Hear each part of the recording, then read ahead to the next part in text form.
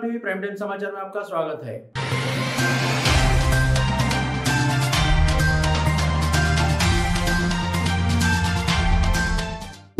मोतिहारी में आई बाढ़ की विभीषिका में कई बाढ़ पीड़ितों के लिए दो वक्त की रोटी जुटाना मुश्किल हो रहा है। ऐसे में रेड क्रॉस जैसी संस्था आगे आई है और मोतिहारी में अपने तीसरे सामुदायिक किचन की शुरुआत लाल बेगिया पुल के पास की है। मोतिहारी, सिकहरना बाँध पर रह रहे बाढ़ पीड़ितों के लिए रेड क्रॉस सोसाइटी के द्वारा सामुदायिक रसोई की शुरुआत की गई है, जिसका उद्घाटन सदर प्रखंड के BDO Indu Bala Singh Bihar bar association के को चेयरमैन पप्पू दुबे ने किया और इस दौरान बाँध पर रह रहे बाढ़ पीड़ितों को उन्होंने खुद भोजन करवाया।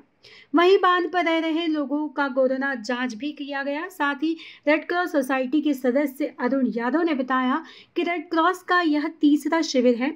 जब तक यहाँ के लोगों के घर से बाढ़ का पानी नहीं जाता, तब तक लोगों को भोजन करवाया जाएगा। हम लोगों का लक्ष्य है कि प्रतिदिन दो से तीन हज़ार लोगों को भोजन करवाया जाए।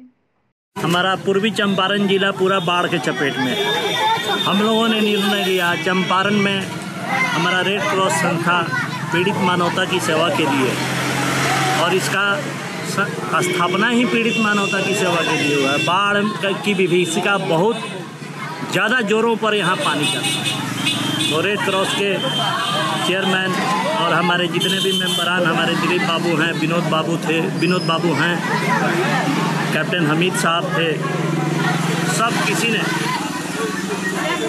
एक मीटिंग किया कि हम लोग पीड़ित मानवता की इस बाढ़ में सेवा करेंगे। यहाँ अगल बगल में चार पाँच गाँव हैं और दो पंचायत, तीन पंचायत के लोग यहाँ हैं। हम लोगों ने निर्णय लिया कि एक साम सामूहिक जगह पर पंडाल बनाकर यहाँ भोजनालय एक सप्ताह कम से कम गरीबों को खिलावें। दोनों तरफ़ अभी भी बाढ़ का पानी चारों तरफ़ है। आप देख रहे हैं और यहाँ लोग खाने खाने के लिए तरसे हुए हैं। इसलिए हम लोगों ने निर्णय लिया रेड क्रॉस ने निर्णय लिया कि हम लोग गरीबों को भोजन कराएँगे। दो वक्त का कम से कम भोजन तो सुबह शाम का कराएँगे, एक सप्ताह भोजन करा देंगे तो गरीबों को एक बहुत बड़ा मदद भी मिल जाएगा और यहाँ सारे गरीब संतुष्ट होकर जाएँगे।